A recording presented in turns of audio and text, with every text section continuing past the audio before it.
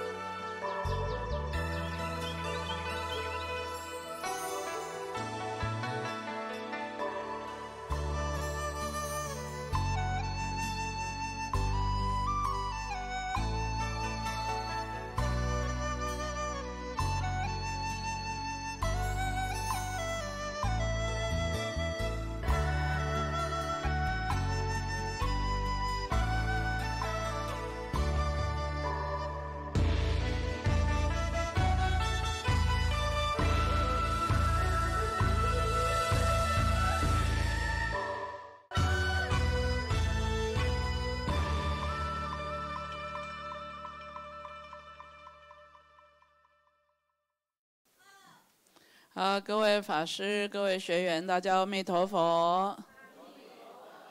好，我们现在讲的是好应顺导师的成佛之道。我们讲到第三章五圣功法啊，正见有四个，对不对？第三个好，我们讲到第三个有前后生啊，有前生后世啊，正见有前生后世啊。好，那所以呢？既然有前生后世，我们如何到后世？是不是也是前今生的什么结束？对不对？今生的结束，所以今生哈，我们这一辈子终究是不是要临终啊？是会临终的哦。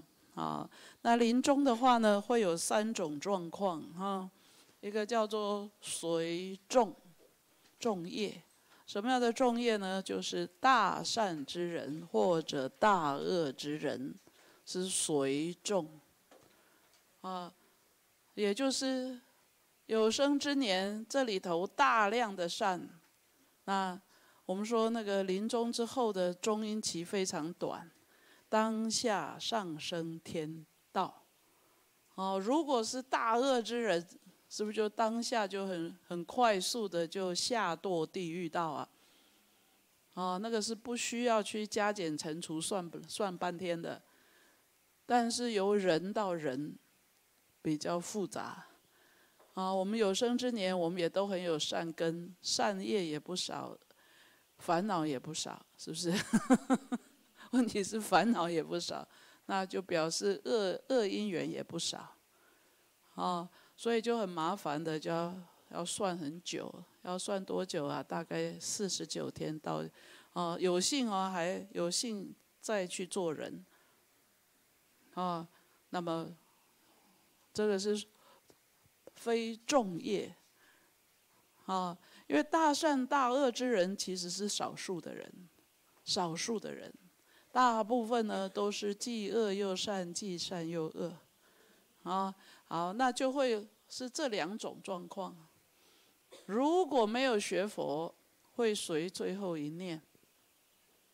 最后一念对他来讲影响很大。啊，那我们说到临终之前的，如果是随念呢？善念、恶念的机会哪一个大？啊，恶念大，几乎大部分都起恶念。为什么？大家都舍不得死啊。都有自我爱，而且还有后有爱啊！对自我啊，对自我呢是非常强烈的。没有人很欢喜的说啊，就算是飞机失事了，是车祸了，也没有人很欢喜的说啊，正好这样子结束了我的生命。没有，大概都在恐惧、害怕、贪贪恋当中，会觉得我还那么多事情没做。我还有亲哈，还有亲属在，我还有财产在，还有什么什么什么，最后一念是不是容易起恶啊？那没有学佛的话的念头，平常呢，善念多还是恶念多？恶念多。为什么？因为不容易智相应，因为没听经闻法，如何智相应啊？非常困难。当然，有的人心胸度量很大，愿意利益社会了，那个也是善念哦，对不对？利他嘛，也是智相应哦。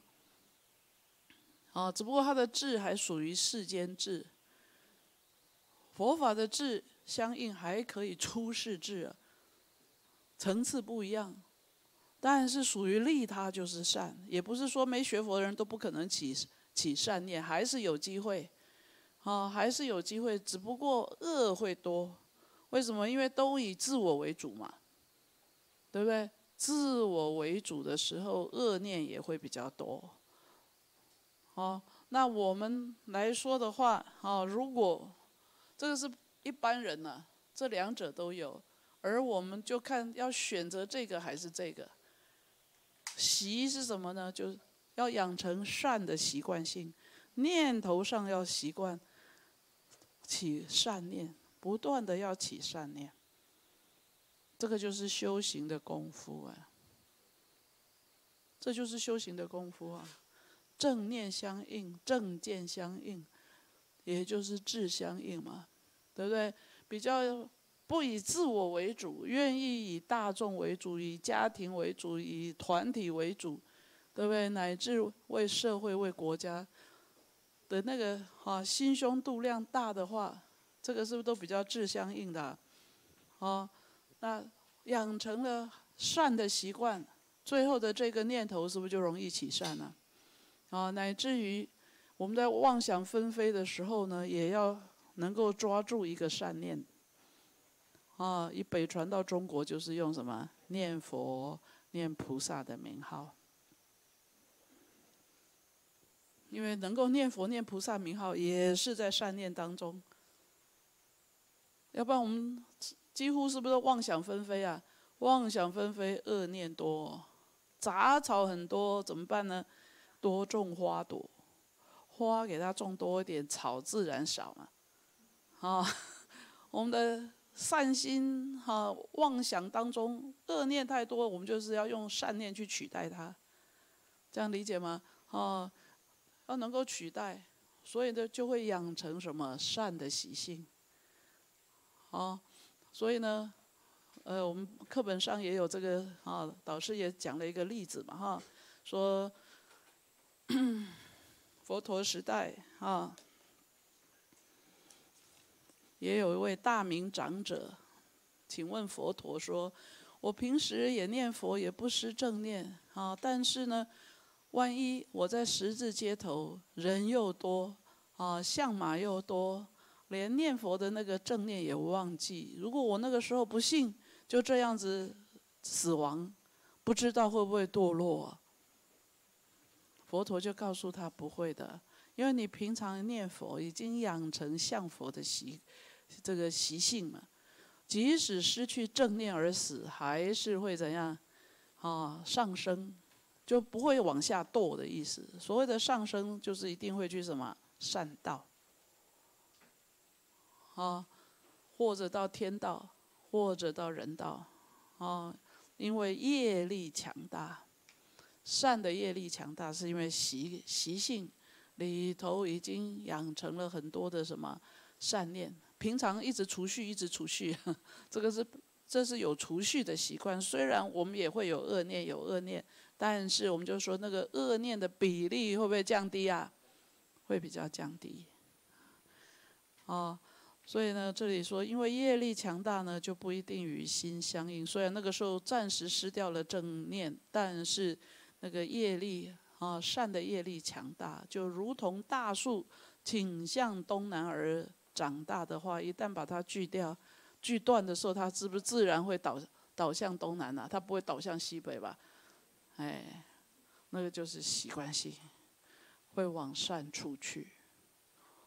所以我们学佛的人，是不是就要善用什么随习、随念？很危险。因为善念不容易起，恶念容易起，随念比较不保险，随习是不是就比较保险？啊，那我们真的非比较非大善大恶之人，当然或许也有哈，但是大善大恶之人往往是少数的人呢，啊，比较少数的人，普遍的大众啊，几乎啊，就说。就说我们几乎哈不是重业的人，那么应该要怎样随喜啊？要要能够随喜啊。好，所以呢，第一句话是就说随业报什么善恶五趣常流转嘛。随业随着因缘，是不会形成果报？有生之年会有福报的现前，会有业障的现前。等到临终的时候呢，那么就要清算一下里面到底有多少的善，多少的恶，啊，就会先有引业到五趣当中去。六到五趣是不是一样的？一样的哦。三界六到五趣九地是不是都在讲世间？世间的范围啊，五趣常流转，这个就是在讲引业，这样看懂吧？哈，好，所以随众或随喜或复随意念，是不是就在讲这三件事情？啊，就在讲这三件，由业往后有心尽火相传由业，啊，往后有。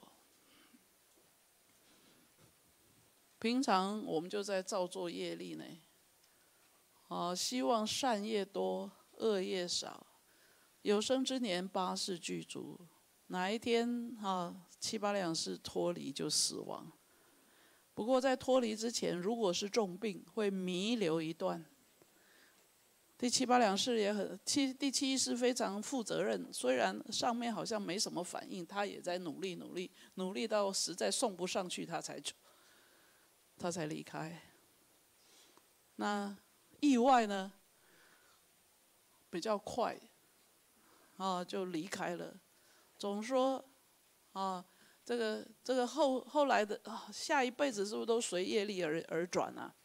啊。所以这里讲的是什么呢？由业往后有嘛？由业，这下头叫做业。下头，因为这个是因跟什么缘？万般带不去，唯有什么业随身。业呢，它会有一段中阴期。就是在在做大的结算，到底要往哪里去？先引业，对不对？然后什么满再满业，所以由业往后有，由业往后有，啊，这个部分要处理掉。一个睡在那里跟死在那里的人，是不是差很多啊？死在那里，我们会害怕的；睡在那里一点都不怕。为什么？因为睡在那里，他七八两事还在，还在呼吸，还在心跳，还有体温。哦，所以我们不能只看表象啊。哦，还有生命的现象嘛，皮肤有弹性，就因为七八两事还在哦。虽然我们只看到六根，啊，那死在那里，这个就很恐怖了。没有任何生命现象，所以都得要怎样要处理了，不宜久留，对不对？不管再怎么爱，是不是还是不宜久留啊？所以很现实，所以我们说，命在呼吸之间，就看有没有在呼吸而已。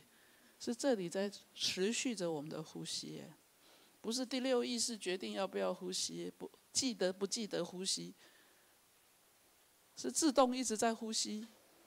平常会不觉得呼吸的重要，但是即将临终呼吸就很重要了，就看那个呼吸，对不对？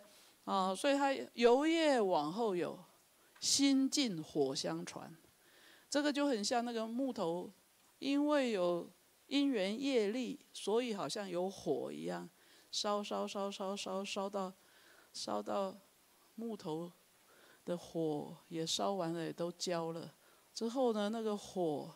还会可以倒到倒可以另外一个木头上头，它的那个生命力还会延续，啊，那去世去投胎之后，是不是就明色，然后六入嘛，就长出下一辈子的什么根生，投生的器界，这个就是下一辈子，这个叫做心尽火相传。是不是要继续再传下去啊？这样懂吗？所以是是因缘业力在连结。我们画这样的一个图，这个就很像，简单一点画了哈。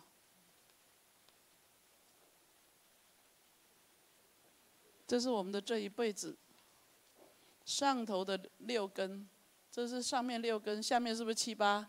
死亡的时候也是七八，再生下头还是七八，所以因缘会流转，无形无相的反而会流转，有形有相能不能流转啊？没有办法，相，我们的正报生老病死离不了生老病死，我们的医报。离不了成住坏空，是不是这样子？所以我们不是在追最后的结果是如何，最后结果都是没了。但是过程是不是因缘业力？是这个东西才重要。所以佛陀就告诉我们说，就就等于要要能够纠正我们，不是只有追上头的了，下头的其实才是关键啊。是不是下头才关键呐？而我们方向有点错误。当然，上面不能不去处理，因为有现实的生活，有我们所结的缘、亲属的缘，对不对？我们所创设的公司或者企业，这个这个都是必须要去处理的，好，要能够妥善的处理。但是，不要只有全部都在追上头的，是不是要花一点时间理解下面的这个流转啊？生命的流转，因为终究是这个在交成绩单呢。不是下面在交成绩单，叫做心境啊？每一次都会心境，然后火相传，心境火相传，心在上头啊，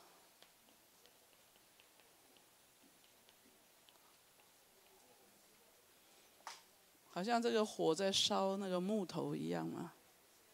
啊，是火。在传，火没没熄呀？那个我们我们在起火的时候，是不是放进木头？它快快熄了，又再加木头，它火是不是又旺起来了？再加木头，它火又旺起来了。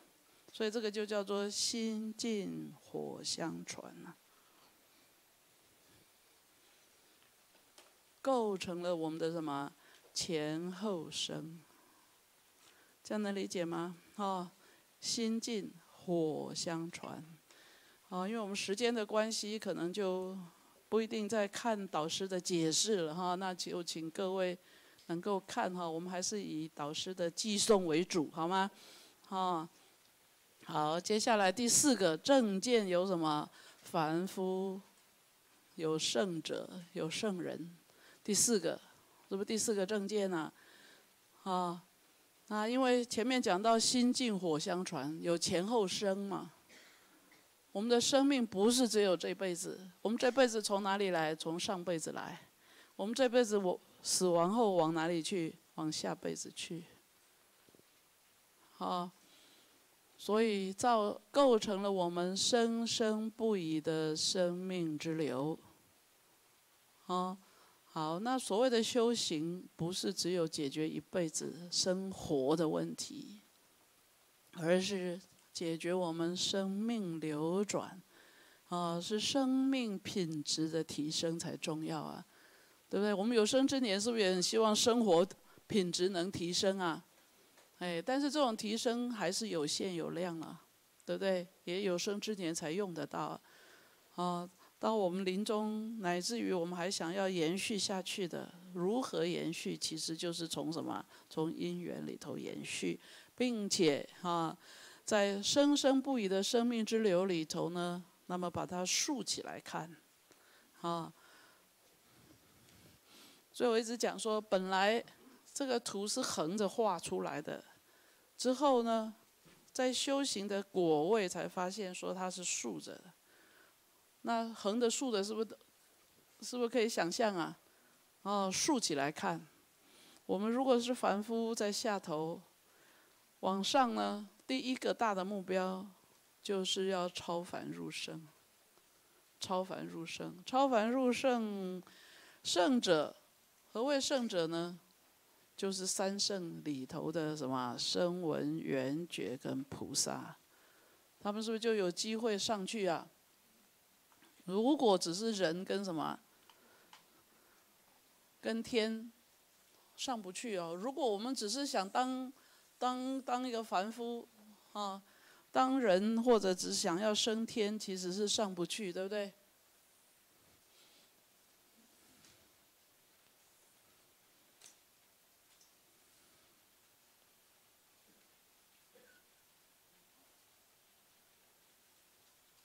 如果只是当一般人，或者是只想上天、升天的话，到这边就没有了，此路不通了，上不去了，所以必须要走，要走这个路线呢。声闻、菩萨、缘觉，是不是才上得去？才有机会上去，也才有机会怎样成佛？好，好，所以这里就讲到嘛，哈，生死常相续，胜者得解脱。好，凡圣福脱易，生性或悟疑惑。好。在这种相续当中，哈，那么圣者第一个大的目标，就是希望能够超凡入圣。其实有三个大的阶段，哈，为什么会有这个三的三个大阶段？从唯识学里面就很清楚。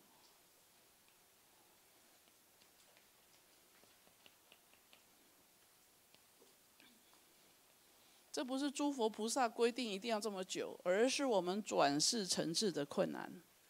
第一大奥生奇劫是不是在解决第六意识分别我执法执？然后解决第七意识的什么杂染，要转为平等性质。为什么会杂染？因为不平等，自私就会不平等。啊，第三大奥生奇劫。解决的是不是就是要把这些都出清存货啊，然后才能进虚空界？哦，所以呢，第一个要解决的是第六意识的什么？慧眼，打造慧眼，看得到因缘法所呈现出来的平等相。因为我们过程当中一直讲因缘，它是平等性，有没有？是不是性空啊？其实就是波瑞，透过波瑞性空而放下，透过放下，是不是才能上去？不断的往上提升，往上提升到圣者的境界，它是一种解脱。涅盘后，先证涅盘，而后怎样解脱？四果解脱，这是出果。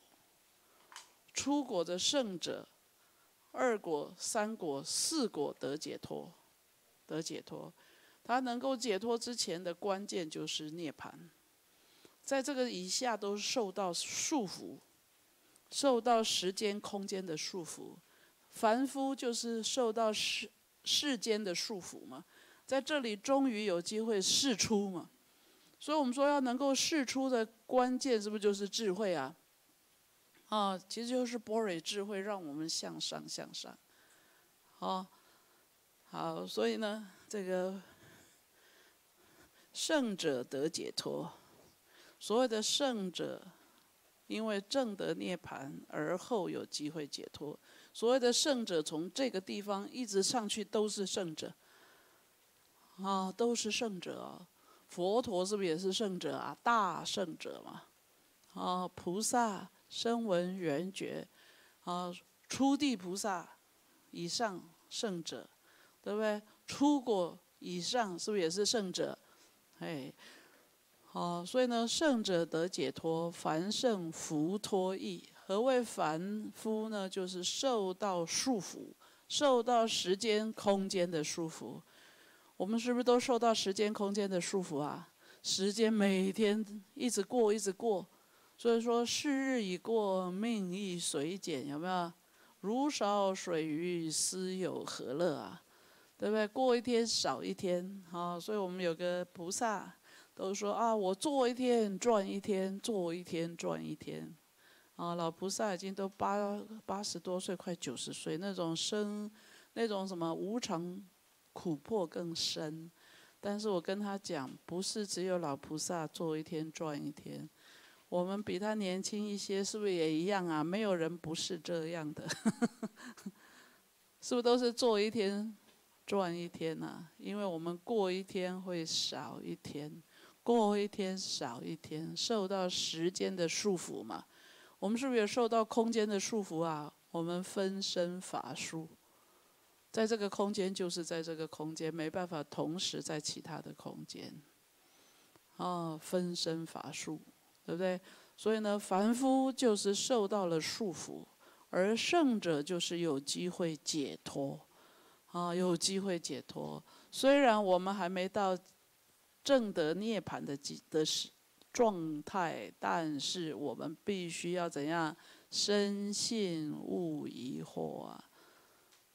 哦，虽然我们还没达到，但是我们要确信。所以，在这个智慧的过程当中，以以唯识学就讲暖顶忍世第一，有没有？暖位、顶位到忍位。到世第一，然后就在世间的最上面，之后是不是就跳出世间了？啊，那首先就是要有暖位，法喜。刚才也讲哦，智相应还不一定有喜喜剧哎，有的人还舍剧，就是还未达 暖位。如果是喜剧，就是到暖位，又能够智相应。啊，钻木取火生，那个火生出来之前先有暖了，是不是先有暖，先有温度，才会起火，是暖位。然后呢，能够向上提升，忍位确认，确信无疑。菩萨善用忍位，声闻透过正果、初果、二果、三果，一直到什么四果。它是正的，去验证，但是菩萨是用忍位哦，叫做确信，确信无疑啊。所以这里就讲到要深信勿疑惑，确信平等性，缘起性空的空性，是不是在讲平等性啊？虽然我们没还没办法验证到，但是我们从理解还要去推论。不仅推论，我还要确信。确信因缘是什么？充满平等性，透过因缘才能上去哦。我们如果透过现象，很容易去执着，起执着会容易往下掉。因为这个过程是平等性，所以这个时候是不是才有平等相的现前呢？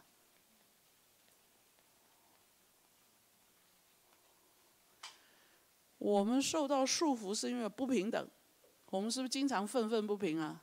会觉得现象那查下贼，逼逼咋背回？那 哦，那也查要贼嘞？哦，是不是在现象上的 差别？而其实，在因缘上是是平等的。因缘的空性就是在讲平等性，而且因缘的空性其实也是第六意识是在教第七意识，因为第七意识一直愤愤不平，第七意识从来没平过，才会杂染。我们是带着杂染来出出生的。我们如果没有第七意识的不平我们是不会来出生的。平了就可以不不来出生，清净了就可以不要再经过父精母血了。所以在第二道生期劫以上可以分身呢。只要有第七意识，都得要借着父精母血来投胎，都是叫做分段生死生，就因为不平。所以我们现在听经闻法，是不是要要靠第六意识的学习？第六意识的学习一直也在教我们第七意识说放下，放下，放下，这一切是平等，平等，平等。确信无疑，是不是才有机会慢慢慢慢慢？哎，确实，真理的现象就是平等相哎。我们凡夫起颠倒，叫做不平等相，看懂吗？所以我们常说，我们现出来的相是不平等的，是颠倒相啊，不是实际的现象啊。我们各现各的相，各唱各的调，哎，虽然在同一个空间里头啊。佛陀是不是讲佛以一因缘说法，众生随类各得解？同样，我们六天听下来的心得是不是不一样啊？感受不一样，收获是不是也不一样？为什么？因为我们有不同的因缘，所以接收的方式、体会到的也不一样。如果是真理的现象，就不应该如此。所以我们说，我们各这个都是我们自己的颠倒相而已。哦，所以我们希望从颠倒相而慢慢转成什么？诸法实相。诸法实相就是真理的现象，真理的现象是无始劫以来就有的嘞，不是因为佛陀出现才有真理相啊，才有真理的现象，是不是真理现象本来就存在的？佛陀只不过就是。透过三大阿僧祇劫的修行之后，完全的验证、圆证了尽虚空界的真理现象，回头来教我们，啊，是依据真理法则不断的上来嘛。所以圣者是第一次去验证了真理的现象，所以它的量还很少，它的平等相的出现的量很少。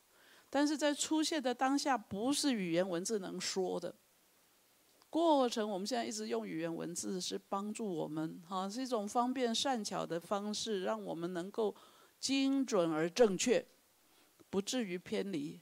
偏离的话，是不是差之毫厘会失之千里啊？会是没办法成佛的。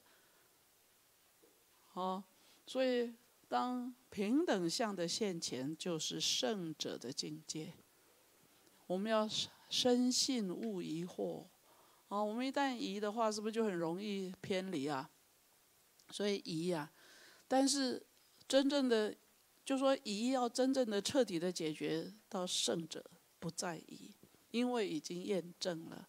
所以常举例说，我们凡夫就像在乌云密布之下呢，终日见不到阳光。那么有人告诉我们说，在乌云之上有太阳，我们是不是会觉得怀疑呀？没有没有知识，又没看电视，对不对？又没逛夜市，都不知道说哦，原来乌云之上有有太阳。但是这个时候，圣者是怎样？拨云见日，终于有机会拨云见日，会不会再怀疑？不再怀疑。有能力拨云见日的当下，啊，那么称为圣者的境界。因为我们在乌云之下呢，样样受到束缚，所以这个乌云不是外在的乌云，我们的乌云来自哪里？内心，而且来自哪里？第七意识的杂染，其实就是第一第七意识的杂染，阻挡了我们对真理的理解。所以我们就得要怎样透过第六意识听经闻法，熏习法界等流种进来哦。我们现在听经闻法，是不是一直在讲真理的法则、真理的现象？还没有验证之前，它不过只是等流，像影像、影子。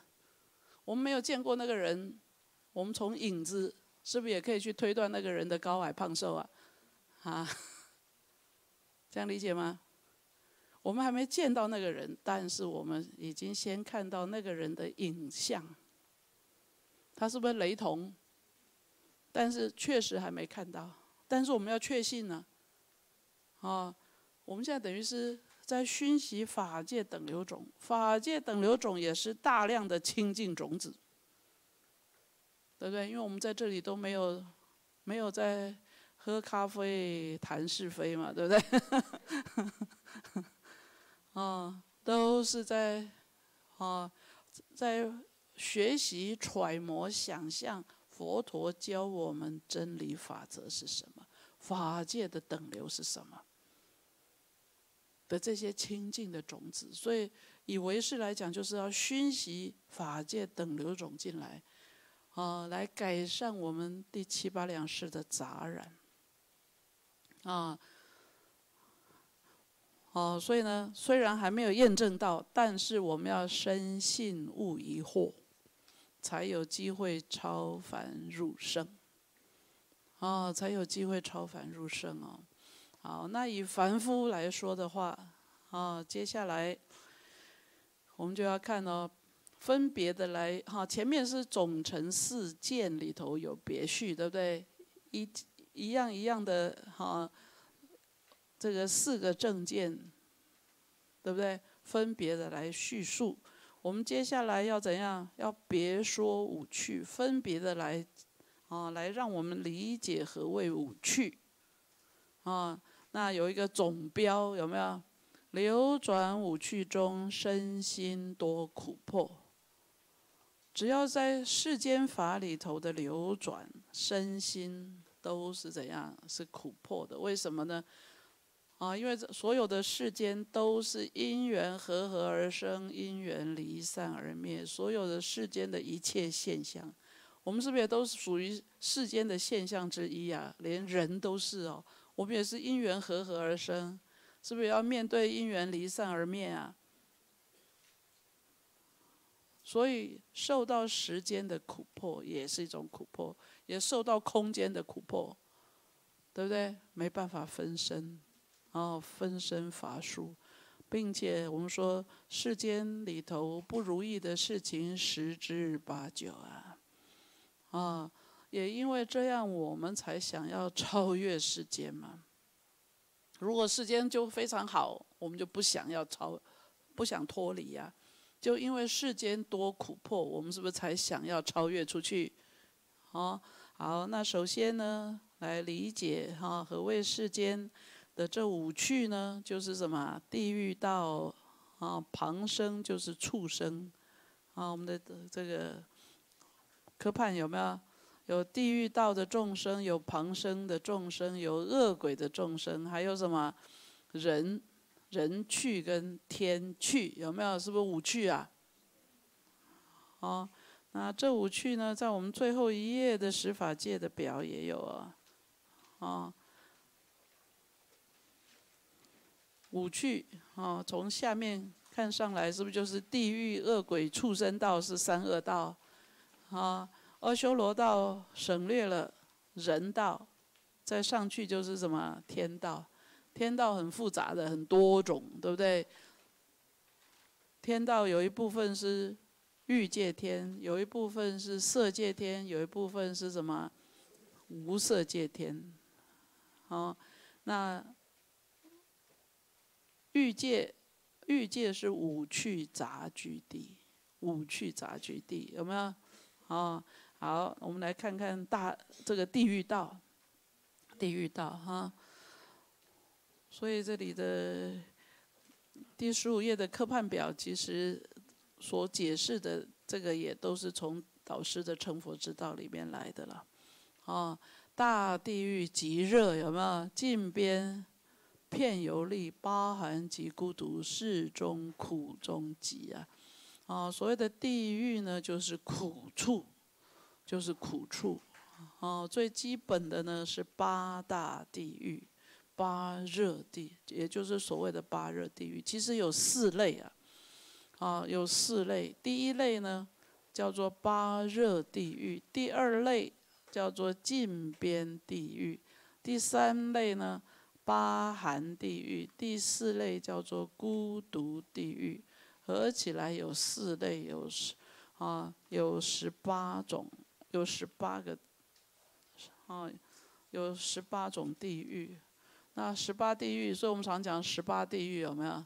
那怎么算的呢？就是八热地狱加八寒地狱，是不是就十六地狱了？再加上近边地狱，加上孤独地狱，各一个。所以叫做什么十八地狱？这样会不会算？是不是四类啊？啊，那这个八热地狱呢，啊，那么推论了哈，如果在我们的这个娑婆世界比较近的这个部分，当然其他世界一样有啊，啊，在我们的这个娑婆世界，尤其我们所熟悉的这个这个地球来说的话，为什么会这么热？往往呢，可能就是在我们的地球中心里头，是不是都火浆啊，都是热的。啊，会喷出。我们说火山爆发，是不是都是从地地心里头往上喷发出来的？哦，所以有人就怀疑，那在这种火热的地方，真的会有生命的存在啊？还是有的，有的专门生活在水里嘛，有的生活在土里，所以还是有时有些众生就生活在火里，哎，啊。那它的特点呢，就是都受着猛火的焚烧，哦，而且呢，还有为了这些烈火所烧热的一些铜铁，所以我们讲到八热地狱里头，哦，就会有很多什么这个铁铁山、铁刀、铁围，哈，那种种的那个金属，哈，属于铁类的，啊，属于铜铁，啊。那这些铜铁经过烧灼以后，那个也变成浆哎，啊，那所以呢，这个是大地狱的特质哈。一个呢，受猛火的焚烧，而且也是会受到这些铜铁的破坏。哦，第二个呢，他的身体很大，寿命很长。一旦因为业力而掉进大地狱的话，它的寿寿命非常的长，用劫来算，一劫有一千六百八十万年，那么长，哦，而且呢，他的身体是非常的庞大，一人在也充满，多人在，啊，一个生命了哈，一个是他不叫人了了哈，呃，一个有情众生的生命，他的那个他的那个身体不。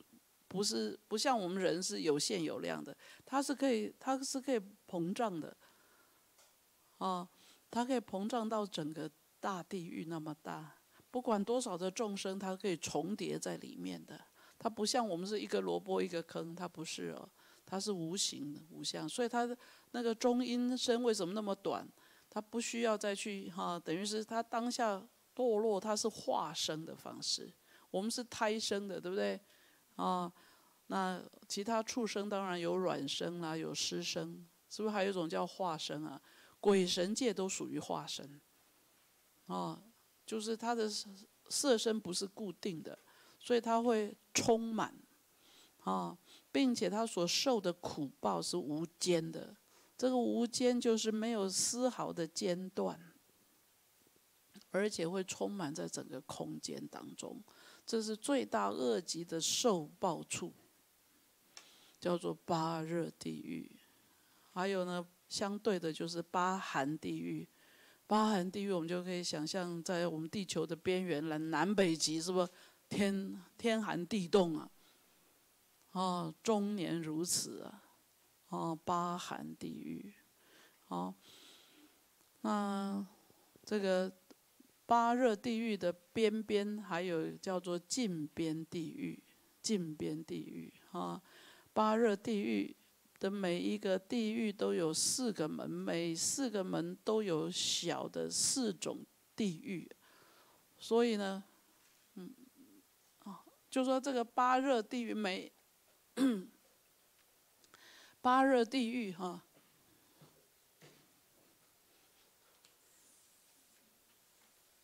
八热地狱，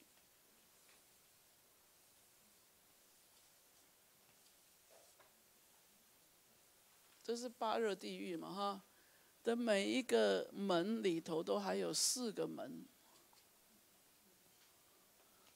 这里头有四个门，的里头还有四个小地狱，四个小地狱，四个小地狱，四个小地狱，所以这样有多少个啊？八个再乘以四，再乘以四，一百二十八个，一百二十八个禁边地狱啊！这个叫做禁边地狱。指的是这个哦。一二三四，一二三四，一二三四，一二三，总共一百二十八个。但是在四类的地狱里头，它只是哈十八地狱，它只是叫做一种地狱，叫做近边地狱。哦，八热地狱是这八个，还有近边地狱。哦，还有近边地狱啊。金边地狱在十八地狱只算一个啊，但是如果细的算，它有一百二十八个。